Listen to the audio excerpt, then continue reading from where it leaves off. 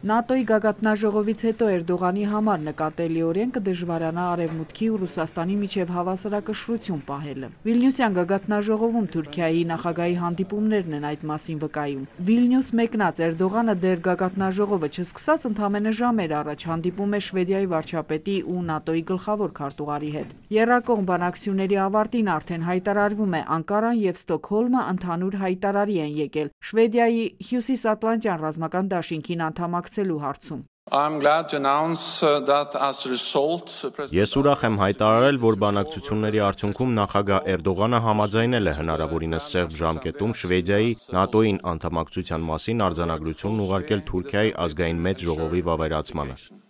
Ստոլտենբերգը նաև վստահեցրել է արձանագրության վավերացումն ապահովելու համար Էրդողանը հետևողական է լինելու: Շվեդիայի համար օրը հրաշալի համարող վարչապետ Քրիստերսոնը հատուկ ընդգծել է. «Թուրքիայի դիրքորոշումը փոխվել է առանց հավելյալ փոխզիջումների»: Մինչդեռ ընդամենը մեկ օր առաջ Էրդողանը Շվեդիայի անդամակցությանը վետո չդնելը սակարկում էր Եվրամիության անդամակցությամբ: Ռուսաստանի արտգործնախարարությունն է արձագանքել Անկարայի ու Ստոկհոլմի պայմանավորվածությանը: «Ռուսաստանը երբեք չի մոռանում, որ Թուրքիան ՆԱՏՕ-ի անդամ է: Մենք ամեն ինչի մասին դատում ենք ըստ արված գործերի և դրանից անհրաժեշտ հետևություններ անում»: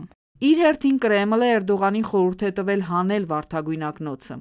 «Թուրքիայի պատմության մեջ միշտ էլ եղել են դեպի արևմուտք ինտենսիվ կողմնորոշման փուլեր, սակայն եթե իրերը կոչենք իրենց անուններով, ապա պիտի նկատենք, որ ոչ ոք Թուրքիան Եվրոպայում տեսնել չի ցանկանում, նկատի ունեմ եվրոպացիներին: Մեր թուրք գործընկերները հավանաբար պետք է վարդագույն ակնոց չկրեն»: Հիմա Թուրքիան դժվարին կացության մեջ է: Իրականում հասկանալի է, որ ԱՄՆ-ի համար կարևոր է, որ Ռուսաստանի հետ բացահայտ առճակատման պահին Անկարան ՆԱՏՕ-ի կողքին լինի: Սակայն դրա դիմաց Եվրամիության անդամակցություն պահանջելը, ըստ թուրքական փորձագետների, համարժեք չէ: Ավելին, երբ պարզից էլ պարզ է, որ Էրդողանը հենց ինքը ամենաշատը չի ցանկանում Եվրամիության անդամակցության գործընթացի վերածնունդը, քանի որ դա իր հետ կբերի բազում պարտավորություններ ու Թուրքիային վերջնականապես կդարձնի Արևմուտքի կցորդը: Իսկ Էրդողանի երազանքը ամենևին էլ դա չէ: